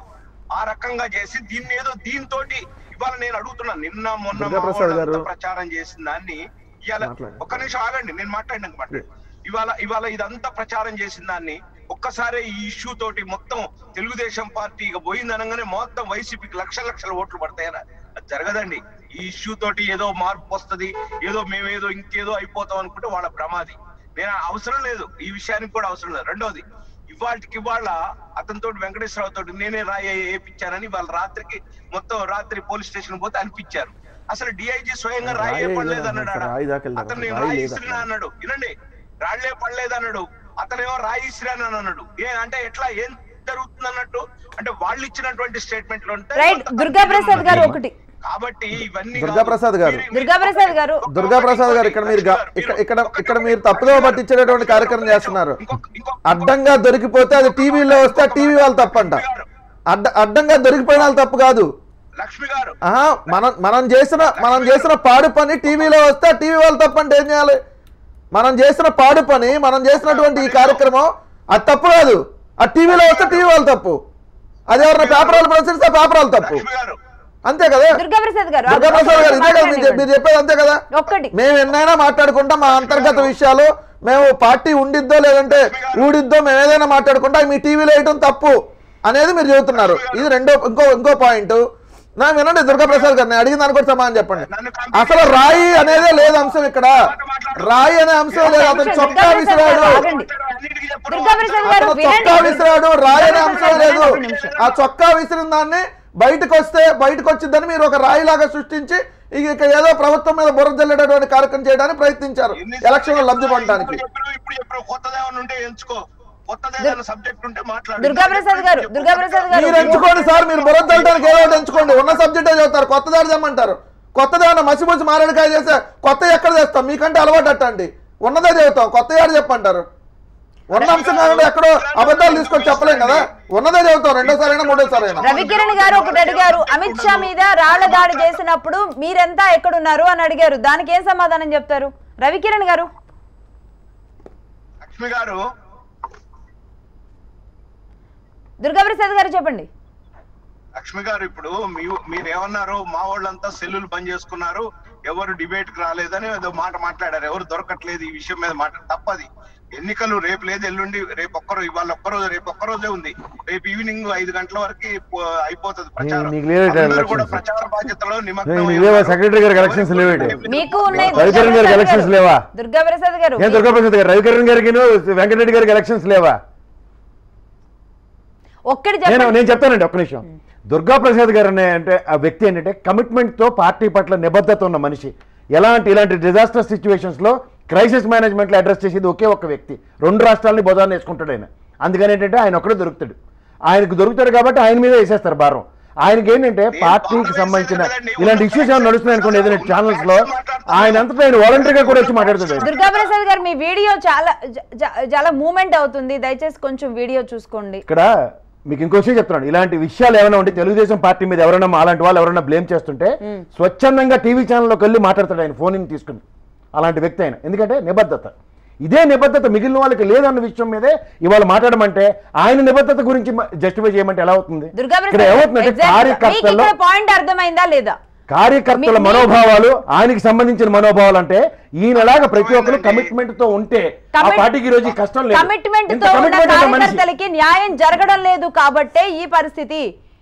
అధికారంలో అందలంలో ఉన్న టీడీపీ శ్రేణులు మాత్రమే పార్టీని ఇలా ఈ విధంగా కుల్లబడుస్తున్నారనేది ఆయన చెప్తుంది స్పష్టంగా. మీరు చెప్పండి కొంచెం మనసు పెట్టి చెప్పండి. నిజంగా అలాంటి పరిస్థితులు ఉన్నాయా లేవా? ఇప్పుడు దుర్గా ప్రసాద్ గారు అంటే ఆ బలబాగిని కడుపులో దాచుకోగలరు. మిగిలిన దాచుకోలేకపోతారు. దానికి ఏం చేయాలో చెప్పండి. అట్లీస్ట్ మీరు ఏం చేసుకుంటారో అదే చెప్పండి వాళ్ళకి. లక్ష్మి గారు. చెప్పండి. పార్టీలో పార్టీలో మీరు అన్నట్టు కొంత అసంతృప్తి ఉంటే అది మేము పార్టీ ఫోరం లో నాయకుడి దగ్గర వివిధ కోణాల్లో మేము చర్చించుకుంటాం. అది వేరు. మీడియాకి చెప్పాల్సిన పని లేదు. రెండోది. ఈ నలభై సంవత్సరాల పార్టీ అండి ఇది. ఇవాళ నిన్న మొన్న పుట్టిన పార్టీ. పార్టీ నాయకుడి మీదే అసంతృప్తిగా ఉంటే చెబుతారా మీరు? పార్టీ నాయకుడి మీద మీరు చిన్నబాబు అనుకుంటున్న లోకేష్ మీదే వ్యతిరేకత ఉన్న విషయాన్ని మీరు చెబుతారా? మొన్న పంచాయతీ ఎన్నికలు మున్సిపల్ ఎన్నికల్లో ఎన్టీఆర్ ఫ్లెక్సీలు కూడా వెలిసాయి. ఏకంగా ఆయన సొంత నియోజకవర్గంలోనే అప్పటి నుంచి కూడా అప్పటి నుంచి కూడా చర్చ మొదలవుతూనే ఉంది. పార్టీకి మళ్ళీ ఎన్టీఆర్ రావాల్సిన అవసరం ఉందా అనేది కూడా పెద్ద చర్చే జరిగింది. రైట్ ఒక నిమిషం బీజేపీ వర్షన్ తీసుకుందాం. రవికిరణ్ గారు. నిమిషం, లక్ష్మి గారు. వస్తాను ఒక్క పార్టీలో నిమిషం వస్తాను. రవికిరణ్ గారు చాలాసేపటి నుంచి వెయిట్ చేస్తున్నారు. రవికిరణ్ గారు ప్లీజ్ చెప్పండి లక్ష్మి గారు. ఇది పరిస్థితి కాపీ పేస్ట్లు జరిగాయి. అసలు పార్టీలో పార్టీ కాపీ పేస్ట్లతో మాత్రమే ఇదంతా వైసీపీ డ్రామా అనేది చెప్తున్నారు. రైట్ అంటే తిరుపతి ఎన్నికల్లో ఓడిపోతామని అటు వైసీపీ మరి మరో కారణంగా ఏమన్నా బీజేపీ ఇలాంటివి ఏమన్నా ఇద్దరు చేసి కలిసి ఏమన్నా ఉంటాయేమో చేశారా? అసలు ఏంటి? ఇప్పుడు ఇది ఏంటంటే అన్న ఎన్టీ రామారావు గారు ఒక సినిమాను చూసి పెట్టే పెట్టారు కాబట్టి అదే ఇప్పుడు సినిమాల పరంగా ఊహించుకుంటున్నారేమో. యాక్చువల్ సమస్య ఏంటంటే ప్రాంతీయ పార్టీలు వ్యక్తి చుట్టూరా కుటుంబ చుట్టూరా తిరిగే పార్టీలు. ఓకే ఈ- రోజు మనం చూసుకుంటే పక్కన టిఆర్ఎస్ ఉంది. కేసీఆర్ కేమో కేటీఆర్ గారు దొరికారు. అలాగే కవిత గారు కూడా ఉన్నారు. అలాగే ఇప్పుడు రాజశేఖర రెడ్డి గారికి జగన్ గారు. సో సమర్థమైన కొడుకు దొరికారు. ఇప్పుడు వీరికి చంద్రబాబు నాయుడు గారికి ఏమో ఇప్పుడు లోకేష్ గారు. ఇది సమస్య. ఈ కంపారిజన్లో ఆ నాయకుల్లోనే అంతర్మతనం మొదలైంది. అది ఒక విస్ఫోటనంగా అయ్యే పరిస్థితికి దారి తీస్తుంది. ఒకటి. రెండో విషయం ఏంటంటే టీడీపీ వారు పిక్చరైజ్ చేసిన వీడియో తీసిన వాళ్ళని తప్పడుతున్నారు. వీడియో టెలికాస్ట్ చేసిన వారిని తప్పడుతున్నారు. కార్యకర్తల యొక్క మనోభావాల్ని తప్పడుతున్నారు. అయితే రాష్ట్ర అధ్యక్షుడిగా ఉన్న వ్యక్తి చేసినటువంటి వ్యాఖ్యలు వ్యాఖ్యలు మాత్రం తప్పట్టట్లేదు. దానిలో ఏ విషయం మీద మాట్లాడట్లేదు. పైగా మళ్ళీ మార్ఫింగ్ అంటున్నారు. వేరే పార్టీలు చేశారంటున్నారు. వేరే పార్టీలు మార్ఫింగ్ చేస్తే ఇంకా వీళ్ళందరినీ తప్పట్టం ఎందుకు ఈ కార్యకర్తని తప్పట్టం ఎందుకు? వాళ్ళ పిక్చర్ చేసిన తప్పట్టం ఎందుకు? ఇప్పుడు కానీ ఇక్కడ రవికిరణ్ గారు. సమర్థవంతమైన కొడుకు కాదు అని మీ ప్రతిపక్షాలన్నీ చూపిస్తున్నాయి తప్పితే ఎందుకు ఇంత ఇలా ఒక వారసుడిని ఒక పార్టీ ఇంత పెద్ద సీనియర్ నాయకుడి కుమారుణ్ణి ఈ విధంగా చిత్రీకరిస్తుంది మీ పార్టీలు కాదా? కాదు కదా రవికిరణ్ గారు ఒక్క నిమిషం లక్ష్మి గారు. సాక్షాత్ అచ్చెన్నాయుడు గారు అన్నారు ఈ లోకేష్ వాళ్ళు లేకపోతే- తెలుగుదేశం పార్టీ నుంచి వెళ్ళిపోయిన ప్రతి ఒక్కరు చెప్తున్న అదే మాట కదా. పార్టీ ఈ లోకేష్ వాళ్ళు కొడుకుని రవికిరణ్ గారు. చేసుకుంటారా? లేకపోతే హరికృష్ణ గారి ప్రమోట్ చేసుకుంటారా? అది వాళ్ళ అంతర్గతమైన విషయం. ఎవరు రవికిరణ్ గారు, ఒక్క నిమిషం, ఒక్క. నిమిషం. బట్. ఎప్పుడైతే ఒక నాయకుడిగా ప్రజల ముందుకు వస్తారో వారి యొక్క నాయకత్వ పటిమని వారి యొక్క లీడర్షిప్ స్కిల్స్ని వాళ్ళు ప్రూవ్ చేసుకోవాలి. అది మనం చేసేది కాదు. ఇప్పుడు కేటీఆర్ గారు ఆయన కూడా అమెరికా నుంచి వచ్చారు. అమెరికా నుంచి వచ్చి ఇక్కడ వచ్చి సెటిల్ అయ్యి వారి మేనమామ గారు అప్పుడు వచ్చి చక్కగా తిప్పారు. మీకు ఈ రోజు మేనమామ కూడా పక్కన పెట్టి ఆయన పట్టు తీసుకుని ప్రజల్లో కూడా ఆ నాయకుడు నుంచి ప్రూవ్ చేసుకున్నారు. ఈరోజు తెలుగుదేశం పార్టీ పరిస్థితి బయటకి కనబడుతుందంటే ఒక నాయకుడుగా అంటే. అంటే లోకేష్కి రాజకీయం చేయడం రావట్లేదా? ఏమండి? లోకేష్కి రాజకీయం చేయడం రావట్లేదా? తెలుగు రాష్ట్రాల్లో ఉన్న రాజకీయం చేయడం రావట్లేదా? అదే అదే ఇప్పుడు అని మొన్నటి వరకు ప్రజల్లో ఉంది. ఎందుకంటే వారు సడన్గా ఎమ్మెల్సీ అవటం మంత్రి అయిపోవటం ఒక మంత్రిగా కొంతవరకు సక్సెస్ అయ్యారు లేదు పక్కన పెడదాం. బట్ ప్రజల్లో మళ్ళీ ఎమ్మెల్సీ ఎమ్మెల్యేగా ఓడిపోవటం ప్రజల్లో ఏంటంటే ఈ నాయకుడిగా ప్రూవ్ కాలేకపోతున్నారని చెప్పుంది ఈ రోజు సాక్షాత్ రాష్ట్ర అధ్యక్షుడే చెప్పిన విషయాలు చూస్తుంటే ఆయన ఇలా ఉంటే మన మన పరిస్థితి ఎలా ఎందుకుంటది ఆయనకి అలా అర్థం కాదు. కూర్చోబెడదాం ఒంగోబెడదాం అని చెప్తున్నాడంటే ఆ రాష్ట్ర ఆ పార్టీ నాయకుల్లోనే ఒక అసంతృప్తి నాయకత్వం లేవి భవిష్యత్తు పడ అంధకారం ఆ పార్టీ భవిష్యత్తు పడ వారి నమ్మకం లేకుండా నలభై ఏళ్ళ ఎక్స్పీరియన్స్ కింజరపు కుటుంబం కూడా ఏటే ఒక నిస్పృహ నిరాశలో కొట్టుమిట్టాడుతున్నది. సాక్షి బోతో సాక్షాత్కరింపబడింది. లోకేష్ గారికి నాయకత్వం లేదని మనం చెప్తాం కాదు వాళ్ళే చెప్పుకున్నారు లక్ష్మి గారు. రైట్ అంటే ఇలాంటి ఇలాంటి పరిస్థితిలో వస్తే గనక ఆ మధ్య వచ్చిన ఫేక్ న్యూస్ ఏదైతే ఉందో అదే నిజం కాబోతుందా? బీజేపీలోకి ఈ- ఈ- ఇది ఏప్రిల్ ఫుల్ న్యూస్లు అండి. వాళ్ళు అసోసియేట్ న్యూస్లు పెట్టుకుంటారు? దానికి మనమే సమాధానం చెప్తాం రైట్ ఇందుకే అది ఫేక్ న్యూసా ఇది ఫేక్ న్యూసా కూడా అర్థం కావట్లేదు. అంటే తెలుగుదేశాన్ని మొత్తాన్ని విలీనం చేసుకుంటున్నారా? లేదంటే అచ్చెన్నాయుడు ఒక్కటే తీసుకుంటున్నారా? చెప్పాలి ఇది. మాకేంటంటే బాబు? మీరు తీసుకోండి వాళ్ళే కాంగ్రెస్ నైన్టీ పర్సెంట్ కాంగ్రెస్ చేసుకున్నారు కదా. వీరి బట్టి చేసుకొని అయిపోతుంది అంటే కాదు కాదు ఇప్పుడు తెలుగుదేశం వాళ్ళందరూ రాజ్యసభ సభ్యులు మీ దగ్గరే జాయిన్ అయ్యారు. ఓ పథకం ప్రకారం మెల్లిమెల్లిగా వచ్చేస్తున్నారు కదా. దాంట్లో భాగంగా ఉన్న అచ్చెన్నాయుడు గారితో ఇవన్నీ ఏమన్నా మీరే చేపించి ఎటు అచ్చెన్నాయుడు గారిని ఇప్పుడు పార్టీలో అందరూ వ్యతిరేకిస్తారు కాబట్టి ఆయన మీ దగ్గర జాయిన్ అయిపోతాడా? ఎమ్మెల్యే వైసీపీ అనుమానాలు అనుమానాలలో కూడా ఏమైనా అర్థం ఉండొచ్చు. ఇక్కడ మీరు లోకేష్ దగ్గర ఉన్న దాంట్లో లోకేష్ వాళ్ళొక్కళ్ళు కాదు ఇప్పుడు. తెలుగుదేశం పార్టీ వాళ్ళు వాళ్ళ నాయకుల్లో ఎవరైతే కింద స్థాయి కార్యకర్తలు కావచ్చు నాయకులు కావచ్చు స్వయాన్ అచ్చెన్నాయుడు గారే ఈ లోకేష్ వల్ల ఈ గతి పట్టిందని అన్నాడు. మేము ఒక్కళ్ళు అంటాం కాదు. ప్రజలు ఎప్పుడో చెప్పారు ఈ లోకేష్ అనేవాడు నాయకుడు కాలేడు. ఈ లోకేష్ అనే అతని వల్ల ఈ తెలుగుదేశం పార్టీ ఎప్పటికైనా కూడా కనుమరుగైపోయింది అతి త్వరలో కనుమరుగైపోయింది అని చెప్పారు. అదే ఈరోజు సాక్షాత్ అచ్చెన్నాయుడు గారు ఓపెన్గా చెప్పారు. ఓపెన్గా ఆయన చెప్పింది బయటకు వచ్చింది అంతే. ప్రసాద్ గారు మీరు ఒక సీనియర్గా అసలు ఇప్పుడున్న పరిస్థితుల్లో అచ్చెన్నాయుడు గారు పార్టీ అధ్యక్షుడు లేదంటే ఎర్రనాయుడు గారి కొడుకుగా రామ్మోహన్ నాయుడు గారు ఉన్నారు ఎర్రనాయుడు గారి తమ్ముడుగా అచ్చెన్నాయుడు గారు ఉన్నారు ఎర్రనాయుడు గారి కుమార్తెగా రాజమండ్రి అర్బన్ ఎమ్మెల్యేగా భవానీ గారు ఉన్నారు ఇంత పెద్ద టీం టీడీపీలో పనిచేస్తున్నారు ఇంత పదవులు కూడా ఉన్నాయి అయినప్పటికీ కూడా ఒకవేళ కార్యకర్తల్లో నిస్తేజం ఉంటే దీన్ని సెట్ చేసుకోవాల్సిన బాధ్యత ఎర్రనాయుడు మీద లేదా ఎర్రనాయుడు గారి మీద చనిపోయారు కాబట్టి ఆయన మీద Sorry, ఉండదు. sorry, sorry. I am Atchannaidu గారి మీద ఖచ్చితంగా? అచ్చెన్నాయుడు గారి మీద ఖచ్చితంగా ఉంటుంది ఎందుకంటే ఇక్కడ పార్టీలో ఒక ఫ్యామిలీకి ఉన్న ప్రస్థానం నెక్స్ట్ కుటుంబ రాజకీయాల గురించి అందరూ చాలా ఆశాస్పదంగా మాడుతుంటారు ఇక్కడ ఒక రెండు నిమిషాలు నేను ఒక తెలంగాణ బ్రీఫింగ్ తీసుకుంటే ఇక్కడ తెలంగాణలో కూడా కేటీఆర్ గారు చీఫ్ మినిస్టర్ అవుతారని మొన్నటిదాకా జరిగిన ఫెయిలర్లు పార్టీ ఆవిర్భావ దినోత్సవం రోజు కేసీఆర్ గారు దాన్ని ఆ మొనటమిని బ్రేక్ చేసి ఆయన ఇచ్చిన స్టేట్మెంట్స్ దాని మీద ఒక స్తబ్దతని అడ్రస్ చేశాడు చక్కగా. అక్కడతో ఆ- ఇష్యూకి పులి స్టాప్ బట్ బిహైండ్ దట్ ఎన్ని గొడవలు జరిగినాయి అది ఎన్ని వేరే కొట్లాట్లు సంగతి. జరిగినాయి అదంతా ఆ పక్కన గ్రూపులో పెట్టినా, ఓకే ఒక పార్టీలో ఒక ఇంటర్నల్ ఫెయిలర్ తీసుకున్నాడు ఎవరెవరు ఏ గ్రూపులో ఉన్నారు అన్న దాని మీద ఆయన చెక్మేట్ చేసుకోగలిగాడు. అలాంటి ప్రక్రియకి ఏమైనా తెలుగుదేశం దోహదం చేసుకునే ఈ తరుణంలో ఇక్కడ ఏమవుతుందంటే రెండు వర్గాలుగా ఇవాళ పోర్ట్రేట్ చేయబడుతుంది సో కాల్డ్ ఏదంటే ఒకటి లోకేష్ అని లోకేష్ గారు ఎమర్జ్ అయిపోవడానికి చేస్తున్న ప్రయత్నాలని రెండోది చంద్రబాబు నాయుడు గారు ఇంకా ఉన్నారు కాబట్టి ఎందుకంటే మొన్న తిరుపతిలో ఆయన తెలియజేసిన నిరసన పదేళ్ళు పది గంటలు ఖచ్చితంగా కదలకుండా తెలియజేసిన నిరసనకి ఖచ్చితంగా ఇంకో పదేళ్ళు ఆయన యాక్టివ్ పాలిటిక్స్లో ఉంటాడని మాత్రం ప్రజలు గ్రహించాలి. అప్పటిదాకా ఏంటంటే ఇందాక రవికిరణ్ గారు చెప్పినట్టు కుటుంబ నేపథ్యంలోనే ఒక అధ్యక్షుడిని నేపథ్యం చుట్టూ తిరిగేదే ప్రాంతీయ పార్టీ.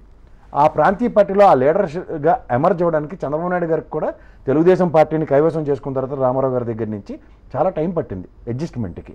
అందుకనే ఆయన ఏంటంటే సోకాల్ లీడర్స్ అందరితోనూ అడ్డమైంది ఎంటర్టైన్ చేసుకునే ప్రక్రియకి అలవాటు పడిపోయాడు ఆయన ఎందుకంటే ఆయన ఆయనకు కూడా కోపం వచ్చి ఆయన ఎక్కడైనా ఒక తప్పు చేసిన వాడిని శిక్షించడం కానీ ఇలాంటివన్నిట్లోనూ స్ట్రాంగ్గాను స్టబర్న్గా స్టెప్పులు తీసుకోకపోవడం వలన ఈరోజు తెలుగుదేశం పార్టీకి ఈ స్థి- ఈ పరిస్థితి వచ్చింది అదే కనుక ఆయన డిసెంట్ తెలియజేసుకుంటే ఎక్కడికక్కడ కట్ చేసుకుంటూ కనుక రాగలిగుంటే అంటే మీరు. అన్నట్లుగా స్ట్రాంగ్గా స్ట్రబల్గా. తీసుకునే విషయంలో నిజంగా ఎవరైనా ఎవరైనా ఓపెన్గా లెటర్స్ రాయండి అని చంద్రబాబు గారే ఒక ఆఫర్ ఇచ్చారు అనుకుందాం ఖచ్చితంగా. పరిస్థితి ఏంటి అనేది అన్ని. అన్ని లెటర్స్లో లోకేష్ గారే ఇక్కడ బూచ్గా ఉన్నారు అనుకుందాం ఆయన నిర్ణయం తీసుకుంటారు ఎందుకు తీసుకోరు? ఇప్పుడు మన కేటీఆర్ గారు మీరు కేసీఆర్ గారు నిర్ణయం తీసుకోలేదా?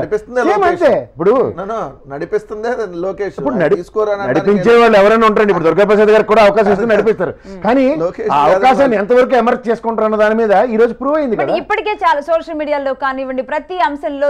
లోకేష్ లోకేష్ టార్గెట్గా ఎంత ఘోరంగా నడుస్తోంది. అయినప్పటికీ కూడా అయినప్పటికీ కూడా తను ఇంకా ప్రూవ్ చేయాలి ప్రూవ్ చేయాలనే తపన కనబడుతుంది తప్పితే కొన్నాళ్ళ పాటు కూడా పక్కన పెడదామన్న కాదు, ఆలోచన. వస్తుంది. ఇక్కడ సింపుల్గా అర్థం చేసుకోవాల్సిన విషయం ఏంటంటే పార్టీలో ఒక జనరల్ సెక్రటరీ స్థానంలో ఉన్న వ్యక్తి కానీ ఆయన పార్టీ అధ్యక్షుడు మాత్రం కాదు.